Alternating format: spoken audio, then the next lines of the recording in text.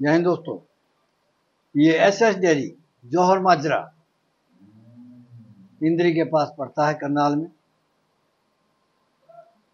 हरियाणा का जिला है करनाल।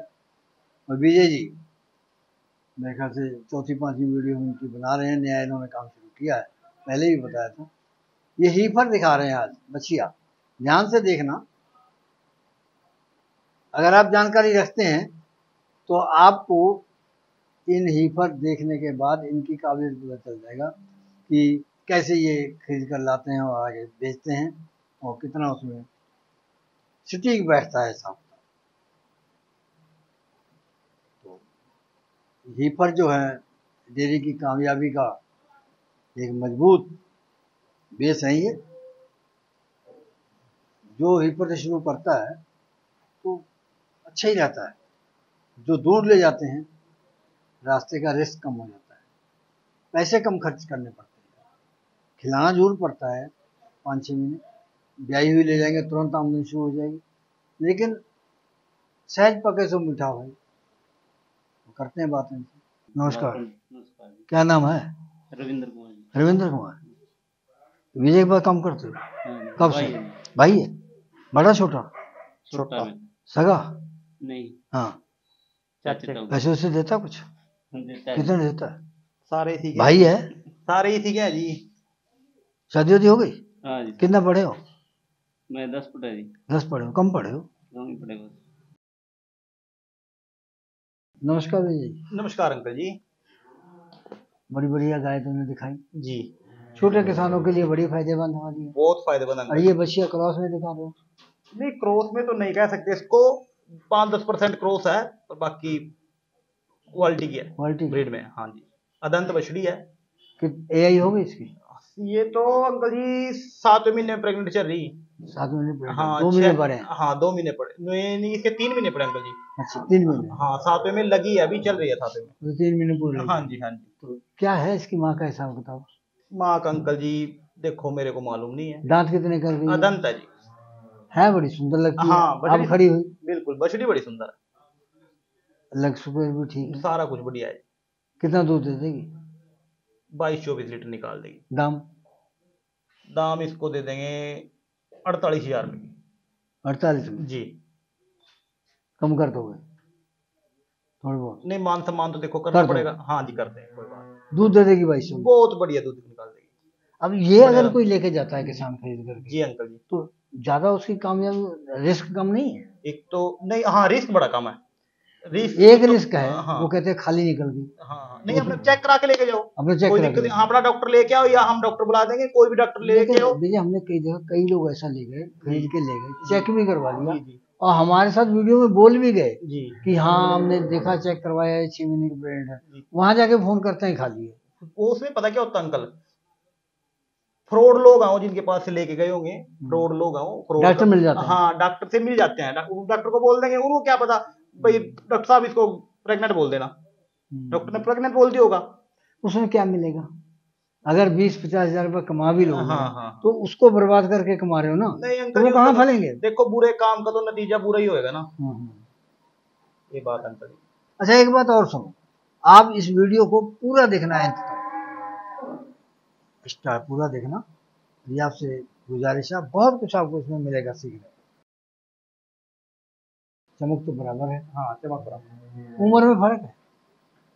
हाँ उम्र में फ़र्क अच्छा उधर नहीं देखना उम्र में फ़र्क है? हाँ जी। कितना? ये पहले वाली अदंत थी हम्म। और ये दो दांत है वो अच्छा। कितनी देर की प्रेगनेंट है ये? ये छह महीने की कंप्लीट कर अच्छा इनको दोनों को कन्वेंशन लगे हैं सीमन या सेक्सुम है? ये पता नहीं। ये नहीं पता। ये किसान के घर की गाय हैं। वो कोई पता? हाँ कितना दूध देगी ये? भी निकाल देगी अठारह बीस लीटर बड़े उससे कम देगी? हाँ उससे कम देगी थोड़ा। हाँ। इसमें थोड़ा सा क्रॉसपन ज़्यादा है। हाँ। और वो थोड़े सा उसमें प्योरपन थोड़ा ज़्यादा है। अच्छा। ये ये तुम लोगों की मार्फत हम सबको समझाते हैं कि ये क्रॉस कम है ये ज़्यादा है ये। कई लोग इस बात में छुपाते हैं छुपा के क्या ले लोगे? नहीं नहीं वो तो चीज़ है सामने है। बिल्कुल। तो क्या दाम होगा इसका? इसको दे देंगे अंकल जी पैंतालीस हज़ार ये पैंतालीस की? पहले वाली अड़तालीस की? अड़तालीस। दोनों नब्बे हज़ार में दे दो। दोनों दे देंगे चलो अगली लो। तीसरे नंबर पर आ गए। जी अंकल जी क्या कहोगे इसके बारे में? ये मुँह से दो दांत है और सात महीने की प्रेग्नेंट है। ये? हाँ। दूध कितना देगी? दूध अंकल जी निकाल देगी अठारह बीस लीटर। अठारह में? हाँ, दाम? इसको दे देंगे अंकल जी चालीस हज़ार में? नहीं अड़तालीस दे अड़तालीस? तो उससे बढ़ा दिए। बस अठारह अठारह बीस लीटर दूध है। अंकल जी ब्रीड है? हाँ ब्रीड है। वो पहले वाले से कम ही है ज़्यादा तो नहीं। पहले वाली से कम है और सेकंड वाले से थोड़ी ज़्यादा है। तो वो तो तुम पैंतालीस से तो इसके अड़तालीस में क्यों बोलते हो? ये एक महीने की ज़्यादा प्रेग्नेंट है ना उससे। तो एक महीने में बेवकूफ़ बनाओगे लोगों को? नहीं एक महीने का तो फ़र्क तो होता ही अंकल जी। देखो खाती है एक महीने में खर्चा तो वही है तो पैंतालीस में दो इसको चलो पैंतालीस और बोलो। आप देखो। इतनी जल्दी मान जाते हम और कम करवाएँगे। नहीं नहीं नहीं नहीं। पता क्या अंकल जी देखो आप मान सम्मान आपका रखना पड़ता है ना जो आपकी वीडियो देख के आएगा उसको तो जायज़ कीमत देना पड़ेगा। पाँच सौ बच के पाँच सौ कम लो चाहे अधिक बिल्कुल चीज़ सही दो चीज़ सही दो। और वो खुश होके जाए। फिर तो तुम भी कामयाब होंगी कामयाब। हाँ जी हाँ ये चौथी दिखाई जी जी अंकल जी। है? जी। तो पहले जैसी ही लगी है लेकिन हल्की लगी कुछ। हाइट तो ठीक है थोड़ा सा पतलापन है।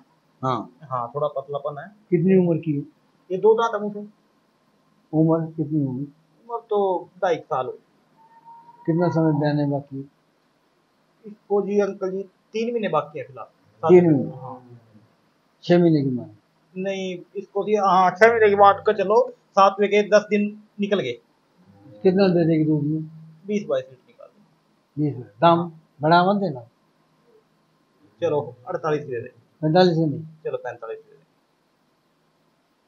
ये इस अब इस स्टेज के ऊपर जब इनको बयाने में दो महीने बाकी हैं तीन महीने तो खुराक क्या देना है? इनको तो सिर्फ़ अंकल जी ट्रांजैक्शन फ़ीड दो और पेट भराई हरा चारा मिल जाए तो बहुत अच्छी चीज़ है।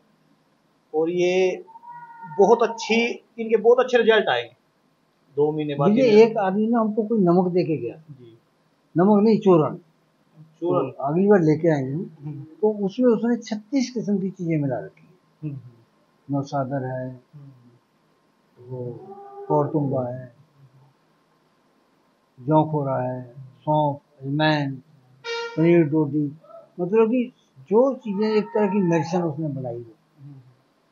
वो कहता है कि अगर ये आप नियमित रूप से चालीस पचास ग्राम खिलाते रहो तो गाय के ऊपर बीमारी नहीं आएगी पाचन शक्ति बड़ी उसकी मज़बूत रहेगी। अगली बार जब हम आएँगे तुम्हारी वीडियो में उसको दिखाएँगे ठीक है। और उसको इस्तेमाल करके देखना। अंकल जी देसी नुस्खे तो देसी होते हैं ना।